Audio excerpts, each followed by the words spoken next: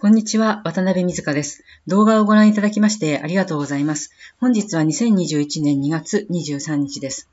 はい、えーと、今日はね、祝日でしたけれども、あの、すごく天気が良くて、えーどのようにお過ごしでしたでしょうか。えっ、ー、と、こちらの記事なんですけども、あの、今回もカルダノエーダの話題になっています。で、えー、タイトルですが、カルダノ・ホスキンソン discusses his competitors Polkadot, Ethereum, Algorand and Tezos といろんな銘柄の名前が上がっています。こちらの記事は2021年2月22日付ですので、昨日上がった記事ですね。で、あの、記事はそれほど長くないです。まあ、このように続いていますけれども、まあ、長くないのでね、あの、楽しんで聞いていただければと思います。でカルダノのチャールズ・ホスキンソン氏は、あの、ポルカドット、イーサリアム、アルゴランド、テゾスについて、えー、語ってくれましたよということで、一体ね、どういう評価を、えー、下しているのかなというのがね、気になるところですけれども、では早速中身に入っていきましょう。はい。ではタイトルからいきます。カルダノのホスキンソン氏、競合のポルカドット、イーサリアム、アルゴランド、及びテトスについて語る。2021年2月22日。えっ、ー、と、一つ、あ、二つ、あの、要点が書いてあります。えカルダの草案者、チャールズ・ホスキンソン氏は、ライバルのポルカドット、イーサリアム、アルゴランド、及びテトスについて見解を語った。で、2番目のポイントですね。えポルカドットのキャビン・ウッド氏は、当初から多くのことを成し遂げており、ほぼ同じ目標を掲げる競争相手である。ということです。はい。では、中身に入っていきましょう。ステファニア・バーバーグリオですね、との、ごめんなさい、ちょっとね、読み方がよくわからなくて。はい、えー、との、最近のインタビューで、カルダの草案者、チャールズ・ホスキンソン氏は、ポルカドット、イーサリアム、アルゴランド及びテゾス、この他好きな暗号通貨プロジェクトと競合することに関する自身の考えを共有した。IOG の CEO、これはチャールズさんのことですね。えー、IOG の CEO は、ポルカドットの草案者、キャビン・ウッド氏、イーサリアムの草案者、ビタリック・ブテリン氏について個人的な見解を述べた。ポルカドットは、ここからはチャールズさんの言葉です。ポルカドットは設計はしているが経験を積んでいない天才と賢い本物のベテランエンジニアがいる場合、すなわちキャビン・ウッド氏とビタリック・ブテリン氏がいる場合の違いに何が起こるかを示す実例です。と言っていますね。えビタリックは素晴らしく頭脳明晰な男、中略ですが、ここで言えるのは、そのままの知性や能力では役に立たないということです。中略。その人物を再評価し、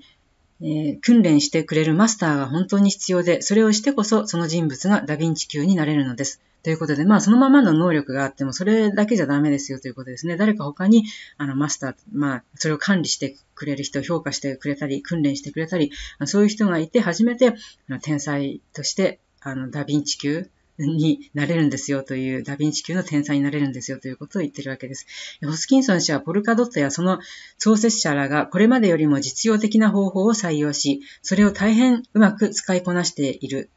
と言っている。ポルカドットチームは何もかも完全に作り変えたわけではなく、自身のエコシステムの特性を向上させるために改良したウロボロスというポルカドットなりのコンセンサスアルゴリズムを使っているのですとホスキンソン氏は言った。ここでまあ、ウロボロスって出てきますけれども、これは当然のことながらカルダのエーダが発祥です。でそのウロボロスがオリジナルなんですけれども、それをあのポルカドットはあの自分たちのそのエコシステム用にですね、自分たちのエコシステムの特性を向上させるために改良して、それをあの使っていると。それをホスキンソン氏はあのうまく使っているというふうに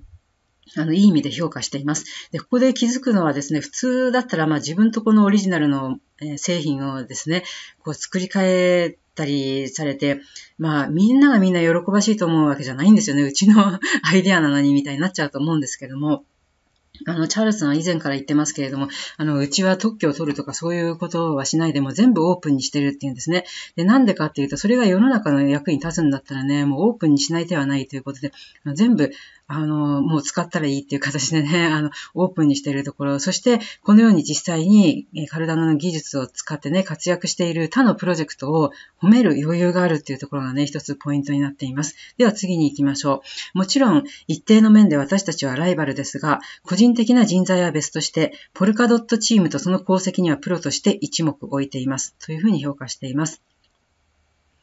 さらにポルカドットは同氏が言うには、最初はさほど強力ではないにせよ、イーサリアムよりも顕著に実装しやすいシャーディングメカニズムによっている。最終的にはギャビン・ウッド氏は最初から正しい道を行き、イーサリアムは今もなお手に負えないほど多くのことを並行してやろうとしている。で、次もチャールズさんの言葉です。これほどかさむガス代は受け入れがたく、私にはイーサリアムと競合するとはかなり言い難い状況になっていますと言っても、私にとってイーサリアムっていうのはそれほど、まあ前も言ってましたけどね、真剣に戦う相手でははないと、そうとは言い難いというふうに言っています。なのあなのにイーサリアムは地獄行きのロードマップに見まがうような途方もなく複雑なロードマップを携えていく道を選んでいます。あまりにも動かすものが多いのです。これでは多くの物事が間違った方向へ行きかねません。カルダノでも同じミスをしていますが、ものすごい速さで多くのことをやっつけようとしたため、何年も費やして私はその犠牲を払いました。まあ、カルダノもね、ちょっとあのミスを犯してきたっていうことを認めています。で、あの、一番印象に残ってるのは、行動を3回ぐらい書き換えてるんですよね。もうこれじゃダメだと思ったら全部捨てて最初から書き直す。そういうことをカルダノは、あの、まあ、3回はやっているというふうに聞いています。えアルゴラント、テゾスなどに関するホスキンソン氏の見解。ホスキンソン氏はさらに、アルゴランドの創設者、シルビオ・ミカリ氏に対する大きな尊敬の念を示した。同氏によればミカリ氏は、MIT ではかなり人気のある大物である。私たちが使っているものの多くは、その発明をミカリ氏に助けられています。ということだ。さらにミカリ氏は、大変懸命に事業開発チームに加わって、優れた開発チームを育てたと。そのチームは素晴らしいコードを書くという、まあ、あのホスキンソン氏はこんな風に評価してるんですね。しかし、ホスキンソン氏は、アルゴラントは今現在プロジェクトの採用やアルゴトークンの流動性の拡大を妨げることになっている重大なミスを犯したと考えている。アルゴランドが犯した唯一のミスはトークンの配布です。シルビオ・ミカリ氏と数年前に食事をしたのですが、私はシルビオビットコインへのエアドロップを考えた方がいいですよと言いました。で、これ、あのビットコインへのエアドロップって何なんだろうと思ったんですけども、あの普通の自分のコインを、あのアルゴランドだったらアルゴトークンだったら、それをエアドロップするよりもビットコインを買っといた方が、ビットコインにお金を落とした方がいいんじゃないのっていう意味で言ってるのかなと私は解釈しました。はい、えっ、ー、と、新規の配布をするのではなく、ですね。あの、ビットコインへのエアドロップを考えた方がいいですよと言いました。新規の配布をするのではなくです。もし言う通りにしていたら、つまりビットコインをね、買っていたらっていうことだと思うんですけど、もし言う通りにしていたら、アルゴランドは今頃、時価総額が最低でも50億から100億ドルに達し、もっと多くの採用率と流動性があったであろうと思っています。この市場では新しいエコシステムを自力で押し上げるのは本当に大変なことです。ということで、まあ、自らの銘柄を売ろう売ろうとして、それをエアドロップしていくより、まあ、あの、効率がいい、ビットコインを、その時のビットコインを買っておくっていう方法があったんじゃないかっていうふうなことを言いたいのかなと。すいません。もし解釈が間違えてたら、あの、申し訳ありません。でもちょっとそんな風に、あの、取れましたね。で、カルダノでは、あの、まあ、バンもしてないですけど、エアドロップもしてなかった、したことないと思います。今まで。してないですね。で、あの、その代わりチャールズさんもそうですけれども、あの、まあ、カルダノはビットコインをですね、あの、その前の、えっ、ー、と、仮想通貨のバブル前に、えっ、ー、と、ビットコインを買って、それをね、うまく、この、運用して、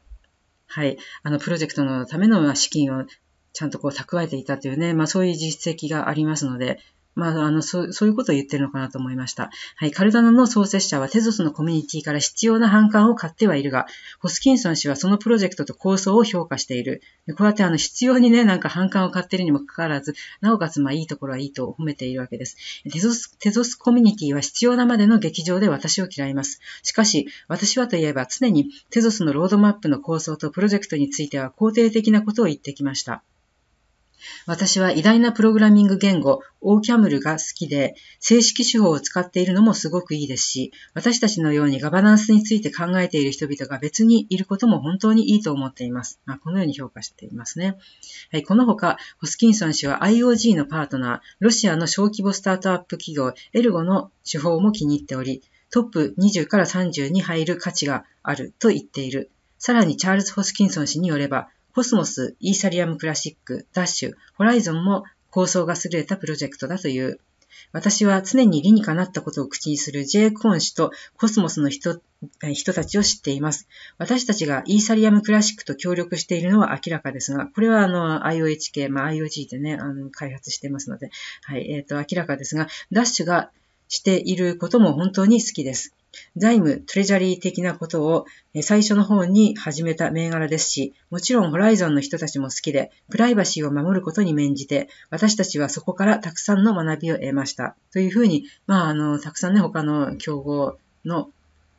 プロジェクトが出てきましたけれども、このようにね、ホスキンソン氏は、あの、いいものをいい、で、そうでないものに関してはね、結構ね、きついことも言うんですけれども、あの、いいものはいいとこのようにね、褒められる余裕がある。そして、自ら開発した、あの、まあ、理論である、その、えっ、ー、と、コンセンサスアルゴリズムである、そのウロボロスも公開していますし、まあ、あらゆる技術をね、公開して、それを使って、あの、うまくね、使いこなしているプロジェクト、競合のプロジェクトを、あの、きちんと評価しているっていうところがね、あの、今回の見どころだったんじゃないかなというふうに思います。それでは最後までご視聴くださいましてありがとうございました。また次の動画でお会いしましょう。